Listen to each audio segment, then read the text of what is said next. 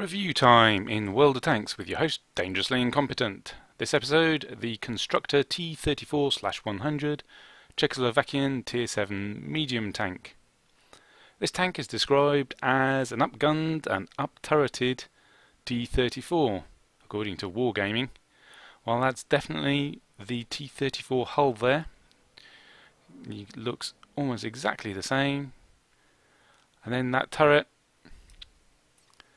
Still the familiar coffin shape and it looks quite a lot uglier so that's probably probably up turret, more armour on there and that gun definitely bigger. But wait, what's this? A telegraph pole mounted on the side? Is that the telltale si sign of an awesome Soviet era tank? Maybe, but aren't they usually mounted across the rear? Not mounted across the side. Hmm, is that a fake telltale? Are they a wargaming trying to fake us out?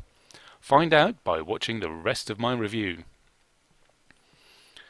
I've done an armour grade, which you may have seen already, but go watch that if you want more details on the armour.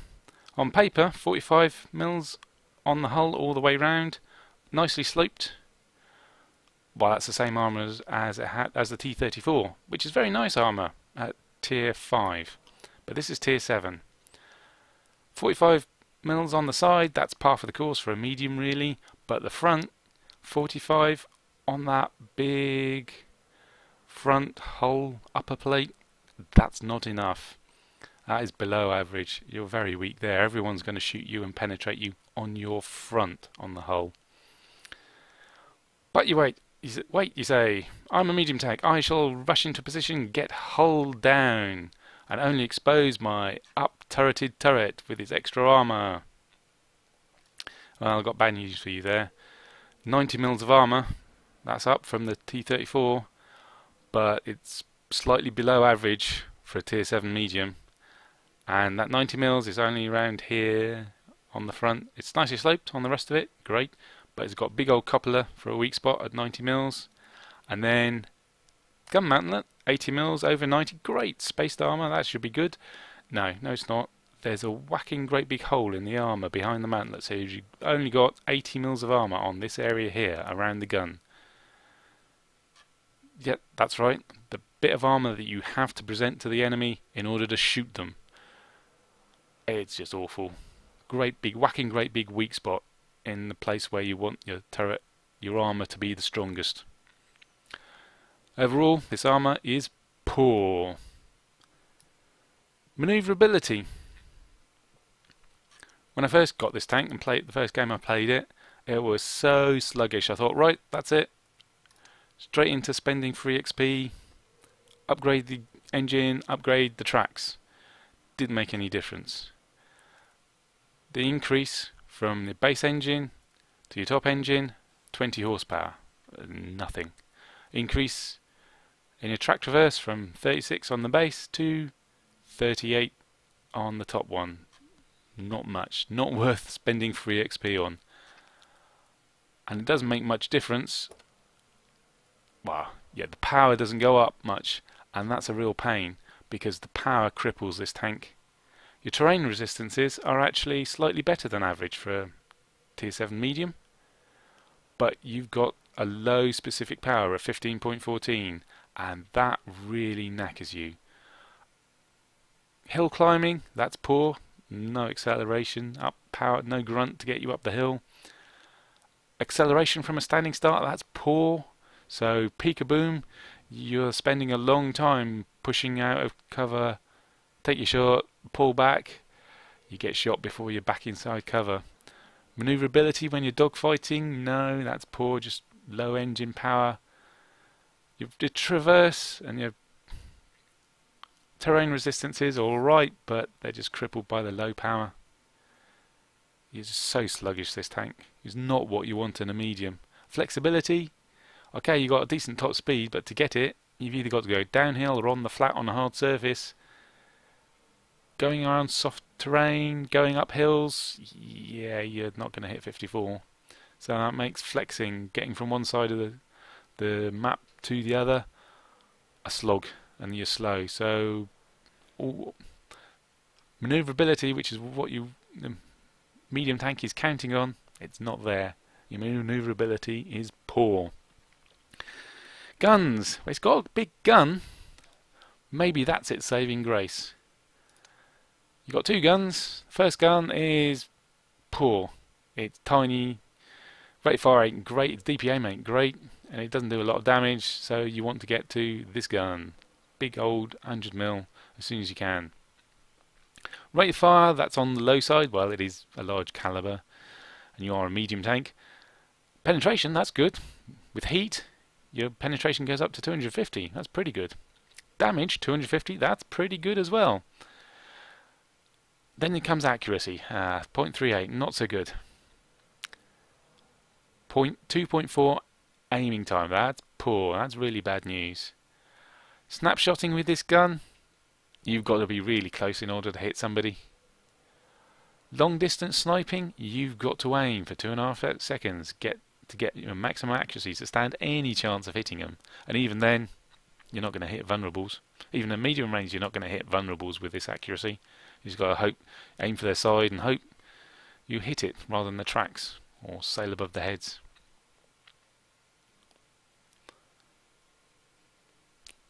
So despite it having good penetration, good damage, that would make it an okay gun if you could use it in close quarters, but you can't really use it in close quarters. You don't have the armor and you don't have the maneuverability. So although the gun's okay, in this tank, its performance is poor. Other stats, hit points, they're okay. View range, that's okay. With optics and a good crew, you can get to 440 or you can stick in binocular telescopes for if you're really going for that passive that passive spotting. Signal range, meh. I mean, well, it's okay. It's great. 525. That's plus your friend's 500 odd, and that's the whole map. You don't really need to bother with the top radio. Camouflage rating. Ooh, question mark, question mark, question mark. It's actually okay. It's not a it's not great because it's not a very small tank, but it's not a big tank either, so your, your camo ratings are okay. Turret speed, that's pretty good. But coupled with the sluggishness of the 38 degrees which, tra track traverse, which sounds good, but you, you, don't really get it. So brawling, uh, turning that track when when that light tank is circling of death you.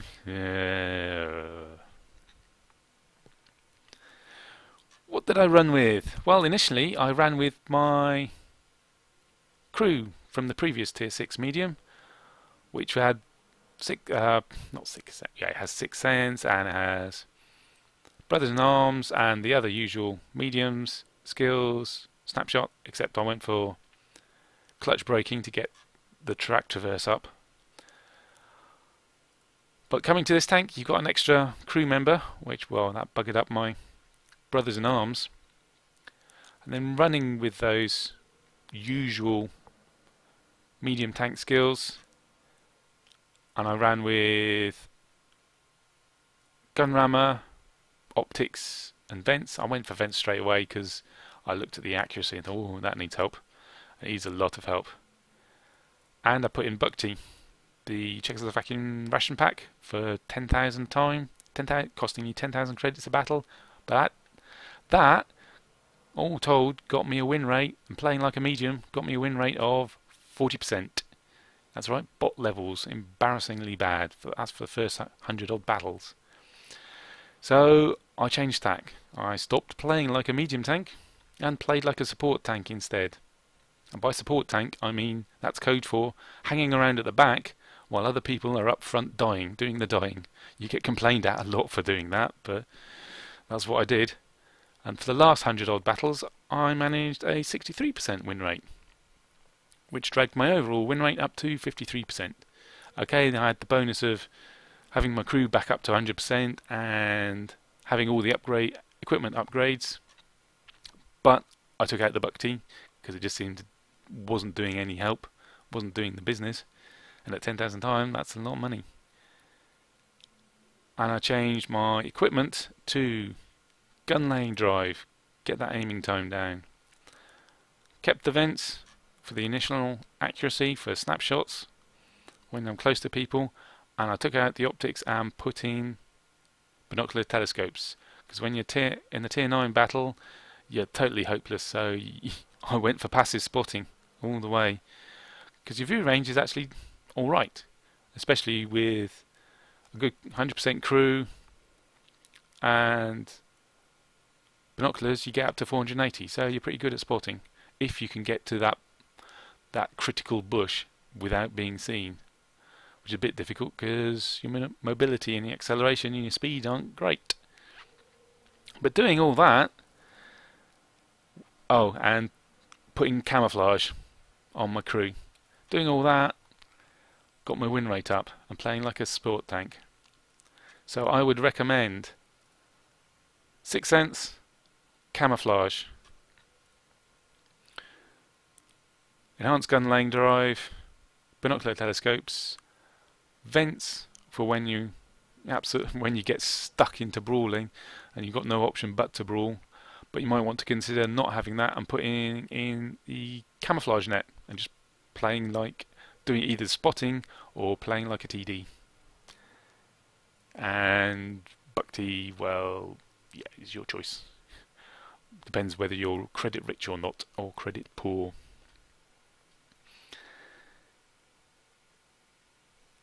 Let's compare this tank to its Tier 7 brethren. The Panther, the German. More DPM, better gun handling, more armour nicer tank because you can hit things with your gun and penetrate them and shoot them lots and yay! T20, the American, has a lower DPM but its rest of its gun stats are much better. Its gun handling is much better. Everything else is much the same. So the T20 can actually brawl because it's got the gun for it. So the T20 slightly better. The T34 slash one dash one, not slash one, the Chinese knockoff of the T-34. Well, that really is an upgunned and up-turreted T-34. Okay, the hull's smaller and lower because they rearranged that a lot, but the turret, oh, that turret's got a turret to die for. It's got huge amounts of armour, it's total dome. Great, totally troll. It'll bounce tier 9 heavies and TDs quite happily.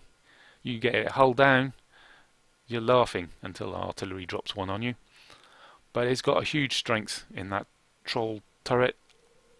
Much better. And the gun slightly worse handling but slightly more damage. T-34-1 much better tank. I love that tank. Comet. Now the Comet—it really is a medium's medium. Its gun is okay. It's got higher DPM lower damage better better handling and faster rate of fire its armour is slightly better, especially on the turret, on the front of the turret, which is where you need it to be better. Maneuverability is okay, and it's better than this tank. And its armour, yeah, better. It's okay. Everything's okay about the Comet, and it wraps it up into a nice package, a nice medium package. You can brawl, you can spot, you can crest fight, you can flex. Great medium, is the Comet. Much better tank. KV-13, better DPM,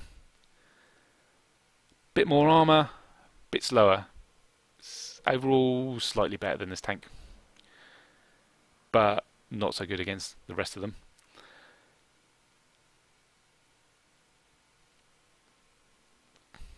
So overall, against his brethren, it's performing poorly.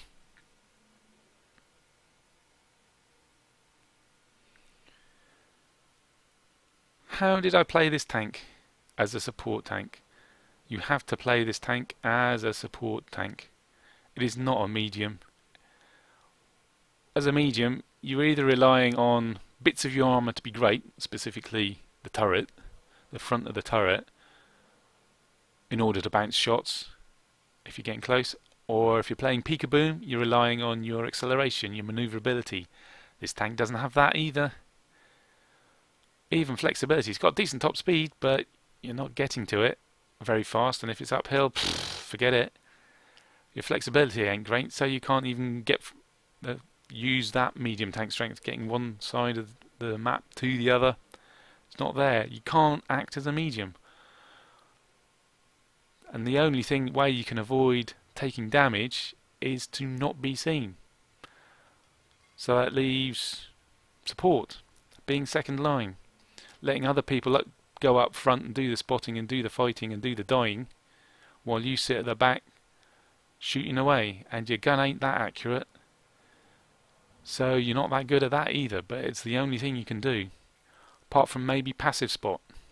There's an active spot, forget it. Your view range is okay, but your maneuverability ain't there. So you've got to get to decent places, decent bushes, and you've got to do it before the, the enemy lights get to their positions and spot you in while you're moving. You've got to get to those passive spot spotting bushes and then passive spot, which is what I tend to do in a tier 9 battle when you're in a tier 7 medium anyway. And take the occasional shot when you're sure you're not going to be seen.